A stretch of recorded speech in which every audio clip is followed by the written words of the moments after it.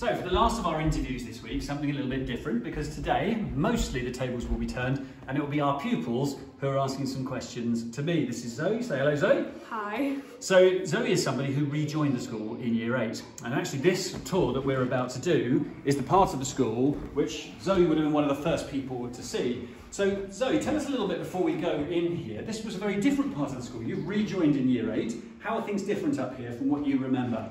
Yeah, well, all of these rooms that are now turning into classrooms for the secondary pupils used to be boarding rooms, and that's just how I remembered it. So it was quite a shock seeing how everything was going to change. And have you got to use them this year yet? Uh, yeah, we for the seven and eights we get to use them as common rooms, but everything else is pretty much just waiting to be used for the year nines and upwards.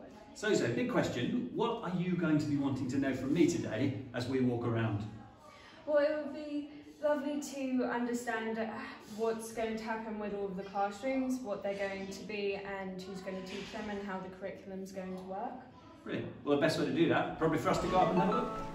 So, we are here now outside the first of the classrooms that we're going to see, and as you can see, Zoe has transformed into Ola. Hello, Ola. Hello, Mr. King. Right, so we're going to come in. Now, this is going to be the maths room. This will be where Mrs. Richardson has her base. It was once a dormitory, and I, you boarded in it, Ola. No, it was a boys' boarding room. Ah, so boys boarding. Yeah. So never in this part of the school before. But it's a beautiful room with a beautiful view. It's going to make a great place for maths. Now, what did you want to ask me? Uh, what will be different from how children are learning now? Great. So in terms of the curriculum and the way that children learn, there will be some quite big differences going into next year in this part of the school. Um, one of the things, do you remember our Halloween project earlier in the year? Yes. So when we did the Halloween project, we wanted you to do a project which helped you to realise that you could change the world, that you could make a difference, that you could reach outside of this beautiful bubble into the real world. And that will be something that's on the curriculum. So all our classes at the senior end will actually do those projects as a weekly piece. They'll learn how to be leaders. You're the head girl, so you, you'll appreciate the importance of being a good role model. Yeah. And I, I could ask you if you were one, but the answer would be an obvious yes. But, um, but all those things will be part of our curriculum. We're also looking at well-being, and what that means is we want every week for students to think about the way they're feeling, not just the way they're feeling physically, but also mentally, and really looking after themselves. So actually PE next year will be taught outside, but it will be taught alongside some really exciting subjects like cookery and gardening, so that we don't just think about physical health, but we think about mental health and, and what goes with that. So it should be a real difference to the way we do things. Should we go and Okay. look at another classroom? Yes. That's Ola has now become Amelia. Hi Amelia. Hi, Mr. King. So we're here in what is a classroom called Flaxman. Now this is probably the most spectacular classroom on this floor. Can you remember what it used to be in school? Well, this used to be a games room that boarders would use, and they um, usually come here after dinner, I think. After dinner, a time to relax and, and to play. And there are still signs. If people could see, there's still a pool table in here somewhere, Amelia, but we won't tell them about that. But this will become the English room. So this will be where Mrs. Thomas and our new English teacher, actually Mrs. Johnson, will have their base. And it'll be where one of the year groups in this part of the school, possibly say year seven or year eight, will have their form space. Um, and it's a big room, as you can see. What's this part of the room going to be? Well, let's go and have a look, shall we? So this bit, Amelia, this is the pastoral area for this particular year group. So whichever year group have this as their classroom space, they'll also have this as their pastoral area. So hopefully a really nice space that, let's say year seven are in this room or year eight, they'll be able to come and have hot chocolate with their tutor, meet their friends here, spend some of their break times here, but also to be able to have some sessions with support for their work, any problems that they have, a space where they can come and talk and share some things which we think is a really important part of this bit of the school. So it's always about helping people, of course, with their exams and with their learning, but we also want to look after every student and make sure that we get to know them really well so that we can help them in the ways that they need. The last part of our interview, we're here in one of the tutorial rooms in this part of the school, and this is the bit where the girls can fire any questions to me that they have about what's going to happen next year. So who would like to go first? Right, Zoe, far away. Um, so, seeing as we're going into year nine next year, what are the um, like head of school and prefects, what, how is that going to work? So that's a really good question because year eight has always been that year where we have our prefects, our heads of school, our roles of responsibility. And the first thing I would say about that is I have a real vision that everybody in the school leads. That we teach people, even from the youngest age, how to lift other people, how to improve their lives. So it's important that all year groups are leading. And when you become year nine, you will always be the oldest students in the school and you will always have a responsibility to lead. But because we've always had Year 8 as a special year, for the next few years at least, it will remain special for those that move into this part of the school. And we will still have prefects in Year 8 for a while. But our oldest students will always be our most special. When we come through here in a minute, you'll see this is the common room that's being prepared for years 10 and 11 when we get to that stage. And they will then have their own kitchen, their own seating area, television up here. So there's always something to look forward to. Any other questions? Will there be um, new teachers for the senior school?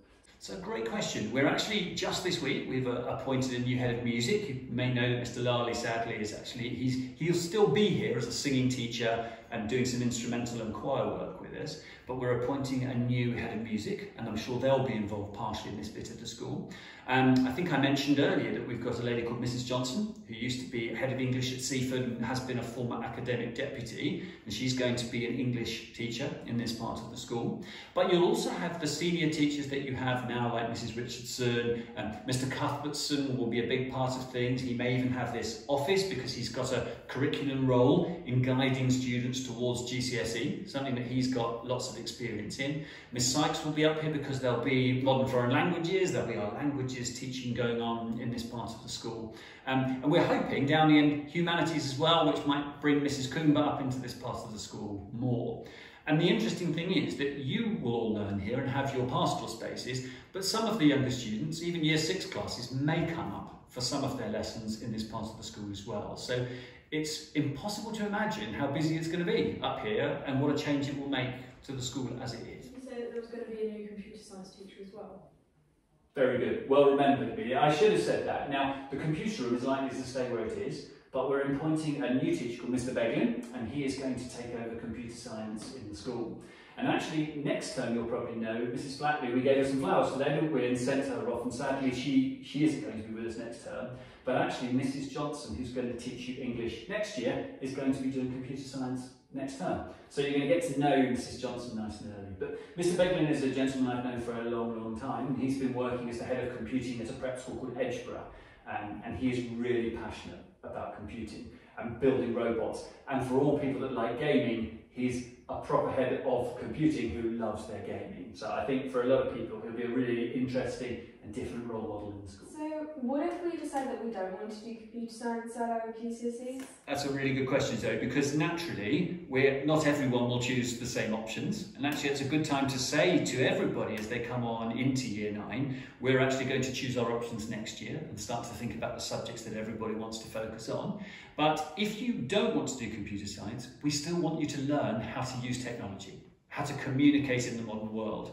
So our intention is that every student will continue to do things like that all the way to GCSE and will still get support with learning about technology, which we think is going to be important in the world.